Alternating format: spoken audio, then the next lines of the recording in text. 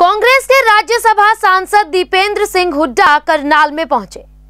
आपको बता दें कि सरदार त्रिलोचन सिंह के निवास स्थान पर वह उनकी माता के निधन के उपरांत शोक संतप्त परिवार को सांत्वना देने पहुँचे। इस मौके पर दीपेंद्र हुड्डा द्वारा मीडिया को भी संबोधित किया, जिसमें उन्होंने संत बाबा राम सिंह महाराज द्वारा आत्महत्या किए जाने पर गहरा अफसोस व्यक्त किया। इस मामले में भारतीय जनता पार्टी की सरकार को दोषी ठहराते हुए कहा कि किसानों पर जो प्रहार सरकार द्वारा किए जा रहे हैं, वह बेहद चिंतनीय है और बाबा जी किसानों की ऐसी दुर्गति को सहन नहीं कर सके। इसीलिए उन्होंने ऐसा कदम उठाया। उन्होंने कहा कि भाजपा सरकार को संत बाबा राम सिंह द्वारा उठाए गए इस कदम को देखते हुए तुरंत तीनों कृषि विरोधी कानून वापस लेने चाहिए। इस मौके पर उन्होंने भाजपा सरकार पर कड़े प्रहार किए। उन्होंने कहा कि भाजपा सरकार हमेशा किसान विरोधी रही है। उन्होंने कहा कि इतनी सर्द रातों में किसान जो बॉर्डर पर सर्दी में ठिठुर के बैठे हैं, उनकी मांग को जल्द से जल्द पूरा करना चाहिए।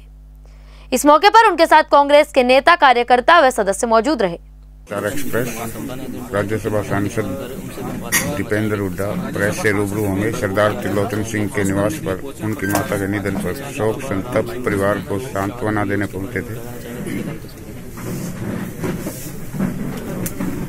हाँ जी करनाल आए हैं, क्या कुछ कहना चाहेंगे आज यहाँ त्रिलोचन? हम सबसे पहले सरदार त्रिलोचन जी के निवास स्थान पर पहुँचे हैं तो उनकी दिवंगत माता जी को अपनी तरफ़ से हम श्रद्धांजलि देते हैं।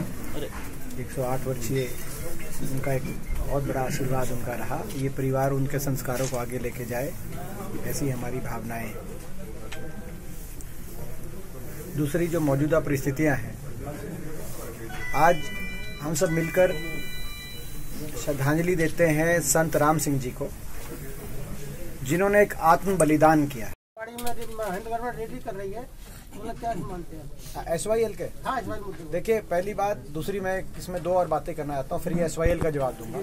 हमारी मांग है और हरियाणा से हरियाणा में जैसे आप जानते हैं लोकसभा और, और राज्यसभा मिलाकर चौदह सांसद बीजेपी के, विपक्ष में मैं अकेला सांसद हूँ। तो एक एकमात्र सांसद के रूप में मैं ये आज, मैं ये कहना चाह आप ये मांग करता हूँ कि तुरंत सेशन बुलाया जाए, जो शीतकालीन सेशन जो कैंसिल किया गया है, वो लोकतंत्र पे ठेस पहुँचाने की कार्रवाई की गई है कि प्रजातंत्र में विपक्ष की थोड़ी आवाज़ सुनने की, थोड़ा की गुंजाइश होनी चाहिए।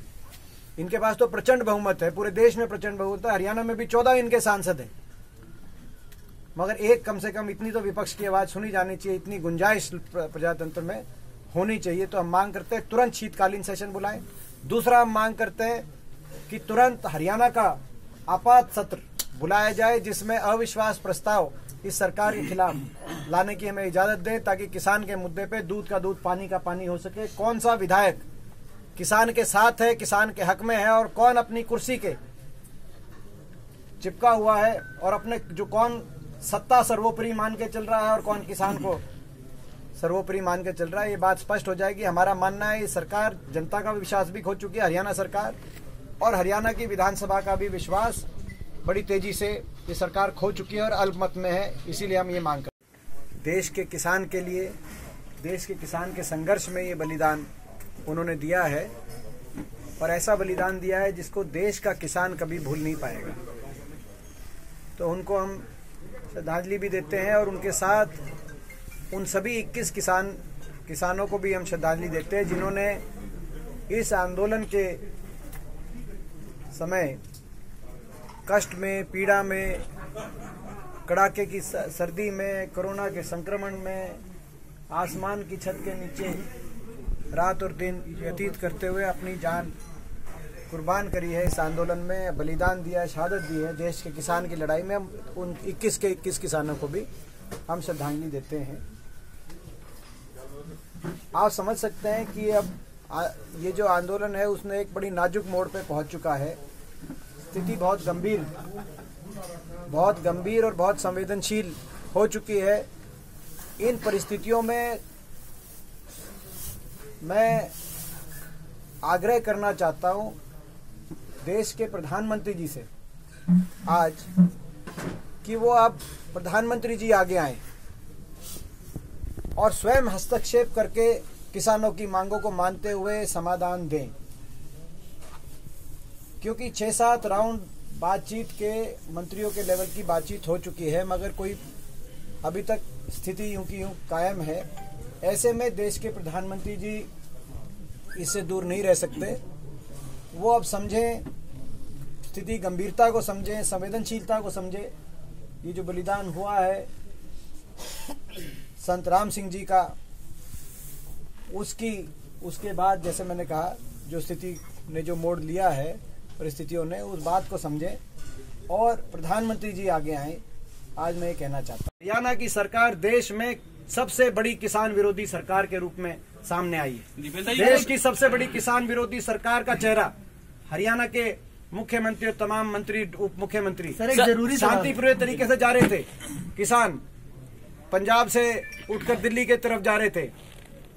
कहीं पीपली के अंदर लाठियाँ बरसी बरसाई गई तो कहीं आँसू गैस के गोले छोड़े गए तो कहीं पानी की बौछार वाटर कैनन के माध्यम से अरे उन पे आँसू गैस छोड़ रहे जो खुद आँखों में आँसू लेके जा रहे हैं आँसू गैस से कहा रुकेंगे? मगर कहीं फोर्स डिप्लॉयमेंट तो खट्टर सरकार ने जिस तरीके से जिस निर्दयता से किसान की आवाज़ को कुचलने की कोशिश करी है। ये सबसे बड़ी देश की किसान विरोधी सरकार के रूप में बेनकाब ये लोग हो गए हैं। आने वाले समय जो है देश का प्रदेश का किसान और हर वर्ग क्योंकि हर वर्ग किसान से जुड़ा हुआ है। इस सर 20 दिन से ज़्यादा 20 दिन से ज़्यादा किसान आंदोलन को चलते हुए हो गए हैं और अभी तक ऐसा लग रहा है कि सरकार तीनों कानूनों को वापस लेने के हक में बिल्कुल नहीं है। और खबरें ऐसी भी आ रही हैं कि सरकार कुछ ही समय में कोई ऐसा बड़ा कदम उठा सकती है जिससे किसान आंदोलन को खत्म किया जा सके। तो मैंने बता दिया वो तो मैंने बात उत्तर दे, दे चुका हूँ आपके प्रश्न का। वो वही जो है केवल सरकार को जिस दिन अपने सरकार जिद से पीछे हट जाएगी उसी दिन ये आंदोलन दीपेंद्र जी पंद्रह सौ करोड़ रुपए का अभी एक बहुत बड़ा घोटाला ऐसे ही लेटेस्ट खबरें पाने के लिए बेल आइकन को क्लिक कर हमारे चैनल को लाइक शेयर एंड सब्सक्राइब करें। धन्यवाद। जेबीडी Banquets लाए हैं। Incredible marriage palace Rajgharana and the finest banquet hall Jyoti Garden. World class catering, centrally air conditioned, lush green lawns, state of the art lighting. A perfect venue for wedding, launching and parties. Rajgharana and Jyoti Garden at JBD Banquets Enterprise.